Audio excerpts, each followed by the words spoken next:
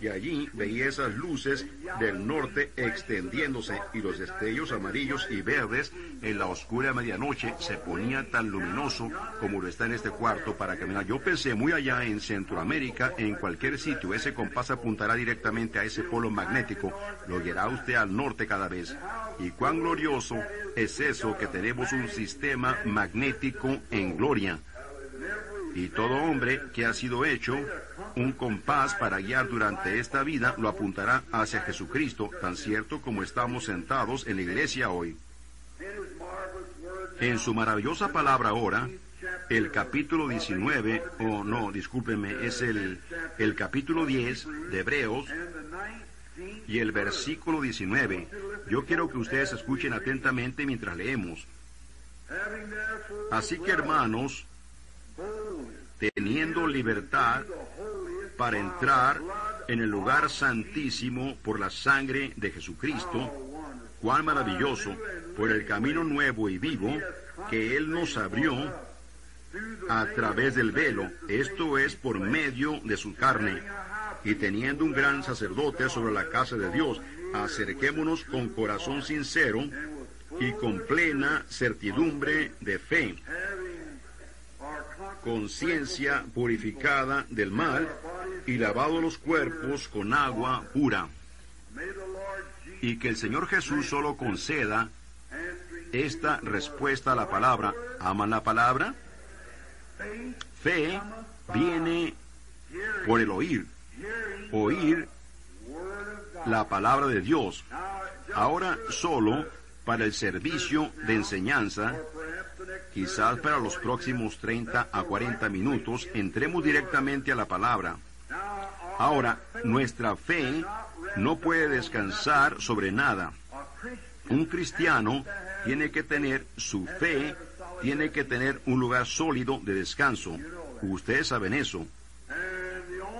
Y el único lugar de descanso en que un cristiano, en que un verdadero cristiano nacido de nuevo puede descansar su fe o de ella, es sobre la palabra inmovible de Dios. No está edificada sobre las arenas movedizas de la teología de los hombres y, y doctrinas y sobre la afiliación de alguna iglesia. Pero un verdadero creyente, su fe descansa sólidamente, inmovible, mientras él se acerca a la palabra de Dios. Yo estaba diciendo en alguna parte, quizás aquí, hace unas cuantas noches, yo quería predicar tanto que le prediqué a mi esposa en la cama hasta las doce, solo diciéndole a ella de qué glorioso era Jesús. Un texto vino a mi corazón, continuaba quemándome enormemente, al grado que simplemente no podía descansar con ello, y yo simplemente dije, cariño, yo quiero predicarte un ratito. Y ella se levantó. Por la gracia, ella escuchó. Yo dije, la fe cristiana está basada sólidamente sobre descanso. Eso es correcto. Un cristiano no es movido. Un cristiano no corre de lugar a lugar. Un cristiano no discute y se encoleriza y se preocupa acerca de cosas. Un cristiano descansa. Todo ha terminado. Todo ha finalizado para el creyente en el Calvario. Eso es correcto. Oh, enfermedades pueden venir y desilusiones, pero el cristiano está en descanso.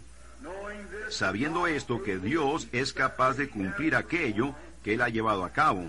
Sabiendo que no importa qué es la cosa y cómo se mira. No hay ni enfermedad, dolor, muerte. No hay ni hambre o alguna cosa que pueda separarnos del amor de Dios que es en Jesucristo. Estamos en descanso. Solo dejemos que el barco se sacuda de cualquier manera que quiera. El ancla se mantiene firme. Yo pasé por un puerto una vez y vi eso. Estábamos volando en un aeroplano, era grande, descendiendo bajo.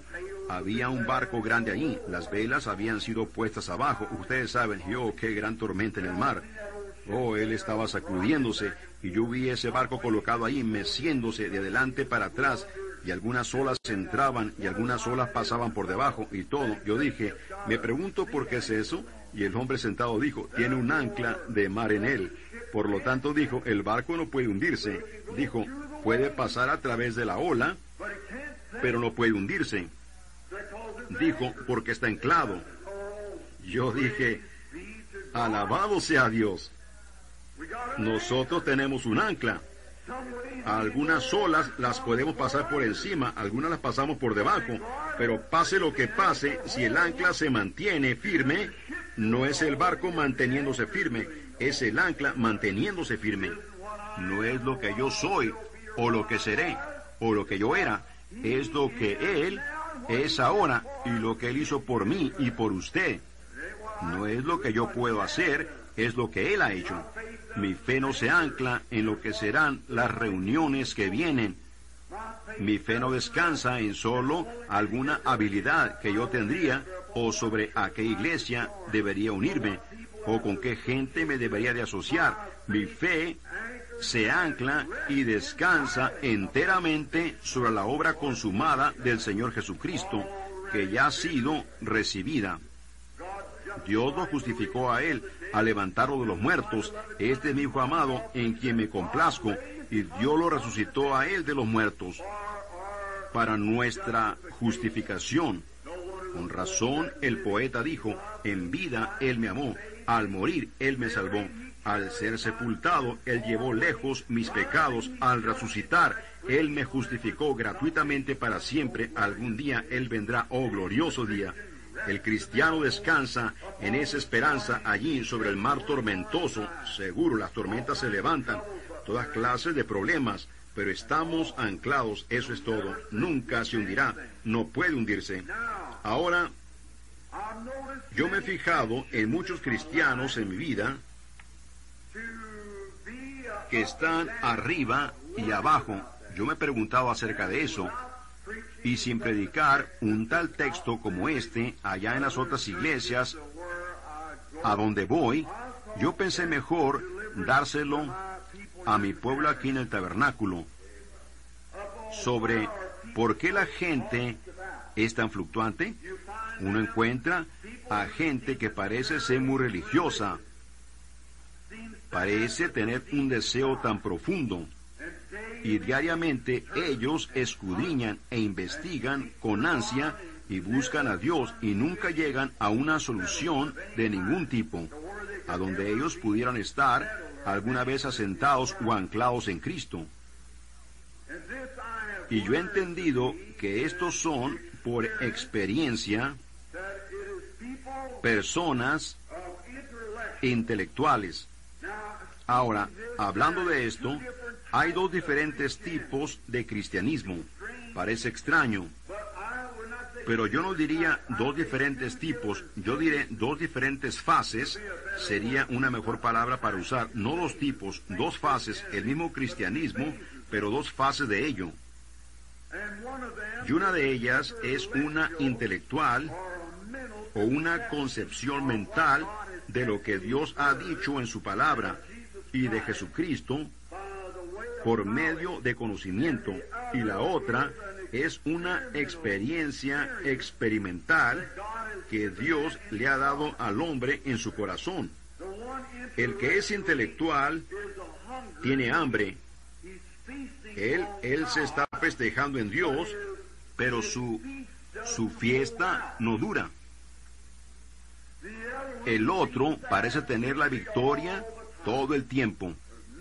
No hay nada que les molesta. Ellos están tan sólidos y anclados a mano poder.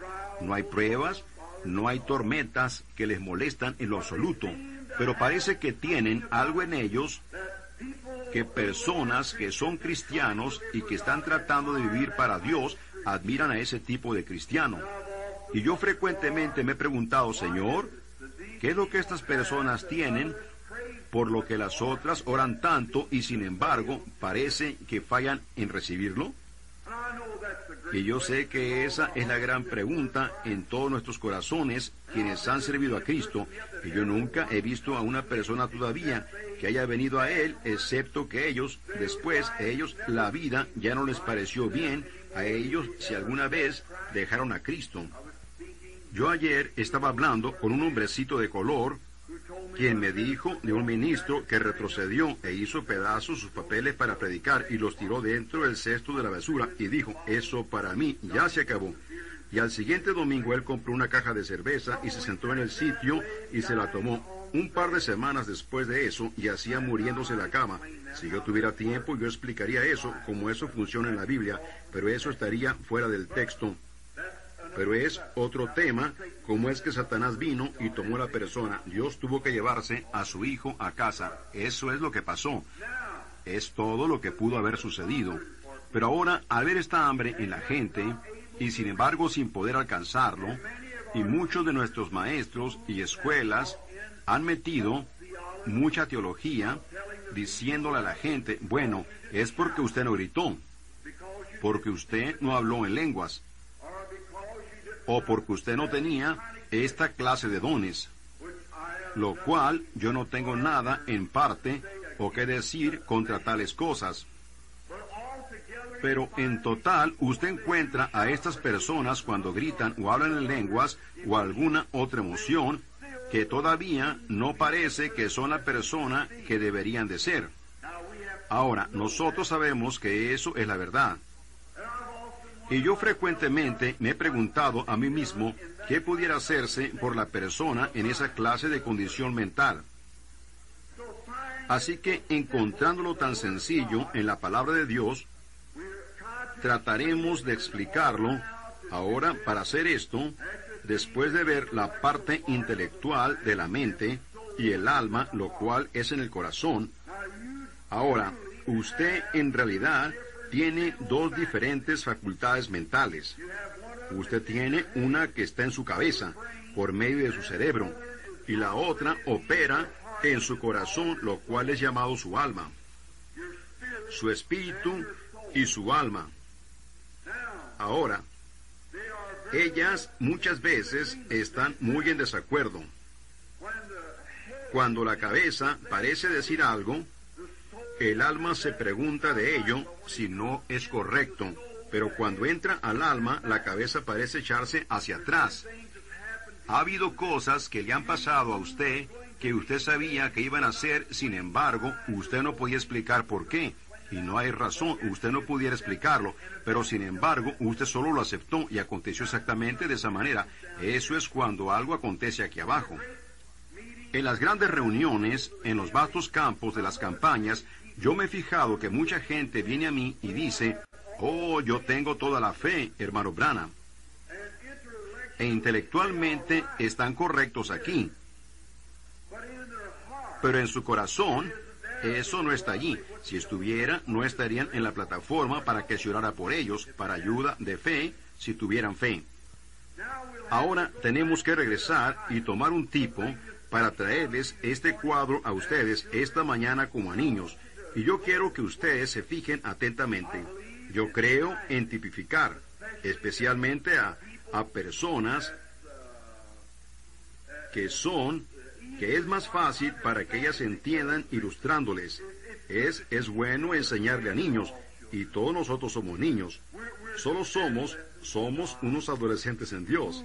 ¿A quién aquí le gustaría decir, yo soy un adulto crecido en Dios? Todos no lo somos, solo somos unos pequeños bebés en Dios. Eso es correcto. Ahora queremos tratar de traer esto a un lugar donde podamos ver exactamente lo que Dios está haciendo. Así que regresemos ahora al Antiguo Testamento para tomar un enfoque de esto y lo tomaremos de los hijos de Israel. Cuando ellos estaban cruzando el, el Mar Rojo y entraron a la tierra prometida, Dios por medio de gracia soberana, cada noche hizo llover maná del cielo. Y el pueblo iba y comía, cogía este maná y lo convertía en pan o tortas o algo, y comían este pan, el cual sustentaba sus vidas en la jornada. Y encontramos que muchas veces, Si ellos dejaban el maná tirado por demasiado tiempo en la tierra, se, se derretía, se desvanecía, así como escarcha o algo en la tierra. Esto, esto no se mantenía. Ahora, vemos que esa misma cosa está pasando en el cristianismo. Mucha gente, antes de las nueve, tiene hambre, tiene mucho campamento. ¿Qué diría yo? Campamento que pasó hambre. Mucha gente va al servicio y se regocija y grita y alaba al Señor, mientras el Espíritu de Dios está cayendo. Toda la condenación dejó su corazón. Y tan pronto como un día o dos después del avivamiento, se encuentran a sí mismos en esa vieja rutina otra vez.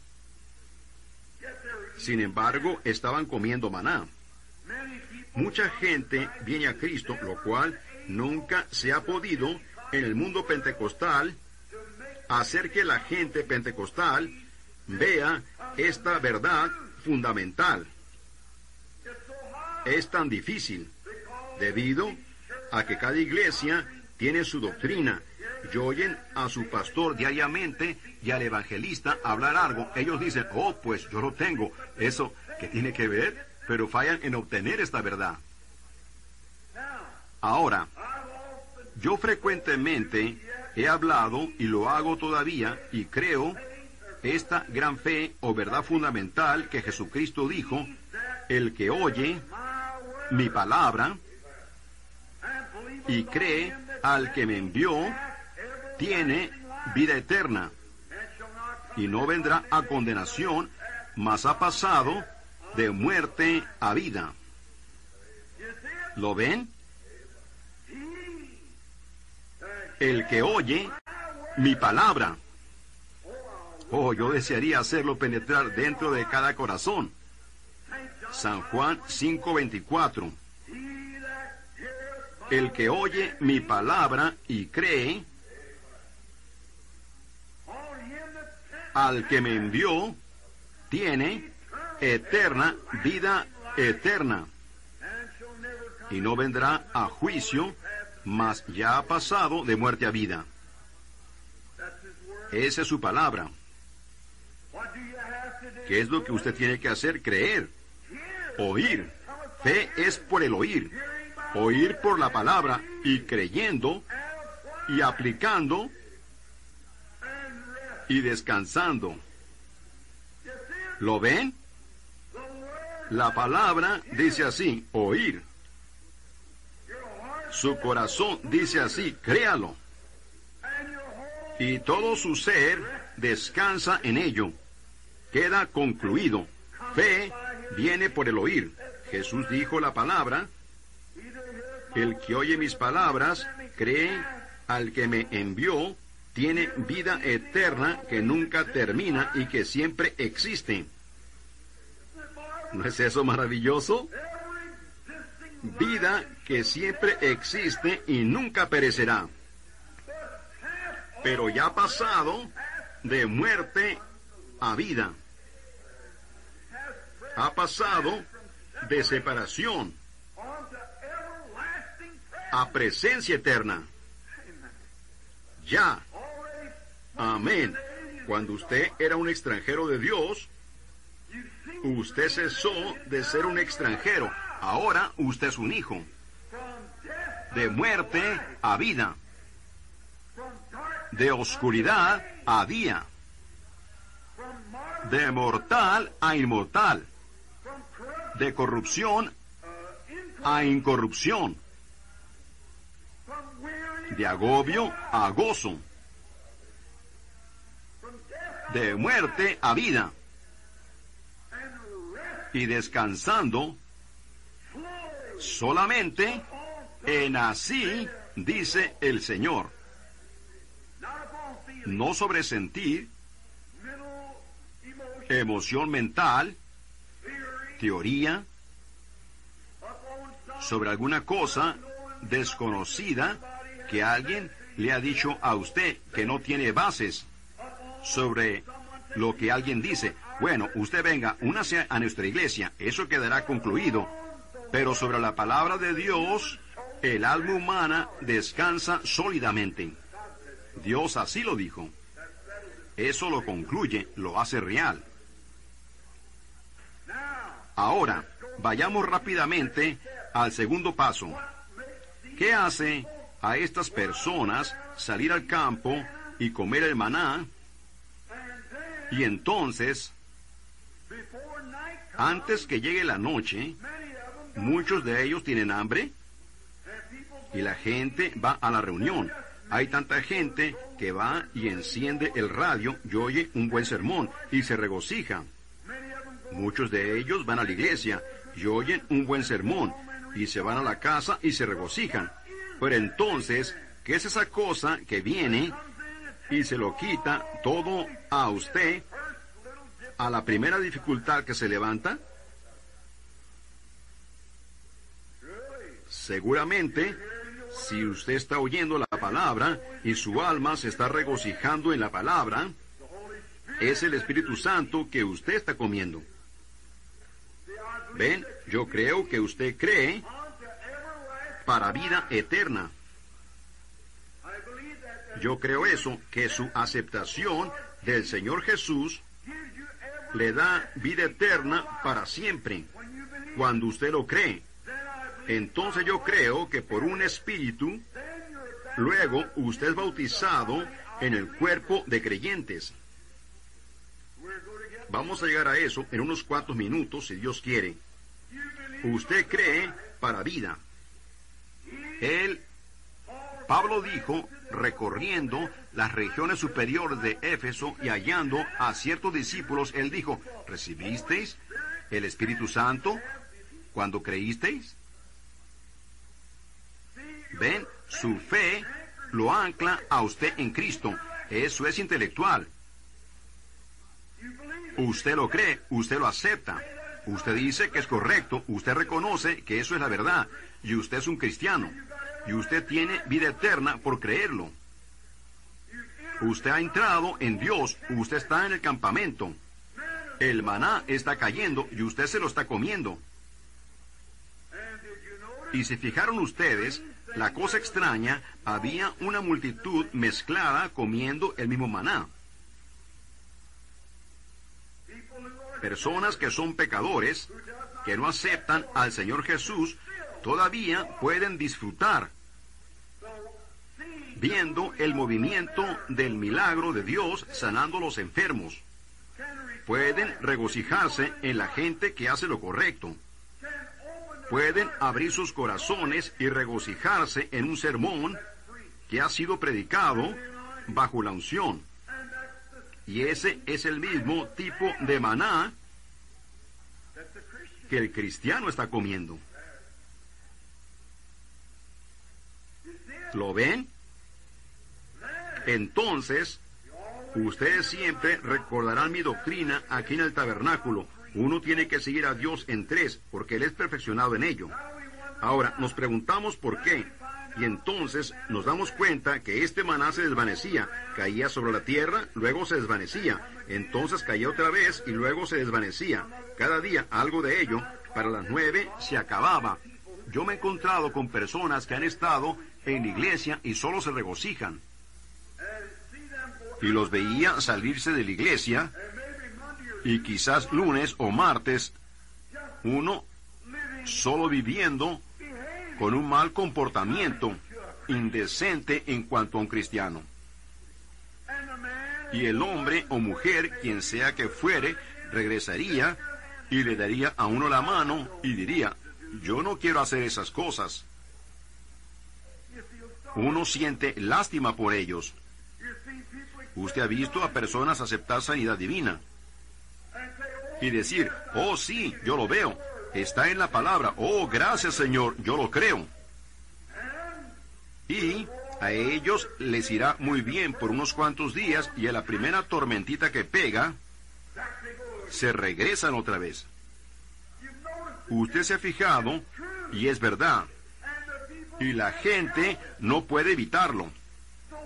Así que, ¿de qué se trata? ¿Qué causa que estas cosas acontezcan?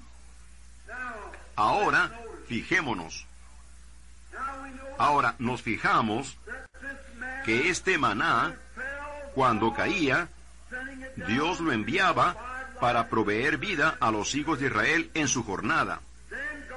Entonces Dios le dijo a Moisés y a Aarón que fueran a hacer una gran urna de oro y que la llenaran completamente de, de maná y que la pusieran en el lugar santo o el lugar santísimo junto al arca. Este maná iba a ser puesto junto al arca. Y allí nunca faltó, nunca se puso viejo, nunca perdió su dulzura. Siempre estaba bueno allí adentro. ¿Alguna vez se ha encontrado con una persona que ha estado allí adentro y que ha probado y que está viviendo en este maná? Uno se lo puede encontrar en lunes, martes, miércoles, jueves, viernes, sábado o domingo. En un día nublado, en un día claro, en un día tenebroso, cosas yéndole bien, mal. Él siempre es dulce, siempre lleno de amor. Nunca habla o hace algo incorrecto. Él está viviendo bajo la gloria de Dios. Él nunca tiene hambre, él nunca tiene que ir a la iglesia para ser levantado. Él, él simplemente siempre está lleno de Dios. La gente va a la iglesia y ellos le dan un estrechón de manos en la iglesia y se ríen y le llaman a uno hermano. Afuera de la iglesia le harían una mala jugada que no estaría exactamente correcta para una ganancia personal. Yo no digo que esas personas están aquí en el tabernáculo, pero yo digo que hay. Hay cosas que la gente haría y ella cambia. La menor cosita hace volver ese viejo temperamento de nuevo. Es egoísmo.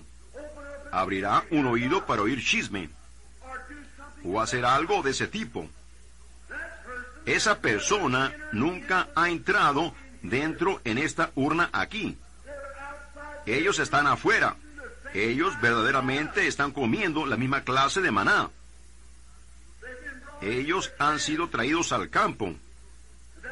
Y ahí es donde, en el terreno del campo, es donde la gente cogía el maná. Y ellos están allí. Y ese maná que ellos comen es el mismo maná que este hombre come aquí. Ambos tienen el mismo pastor. Ambos leen la misma Biblia.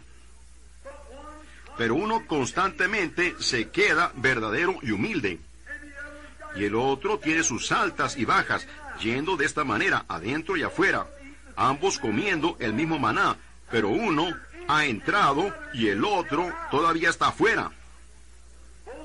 Ambos son creyentes para vida eterna, pero uno es bautizado con el Espíritu Santo en el reino de Dios y el otro está afuera comiendo el mismo maná.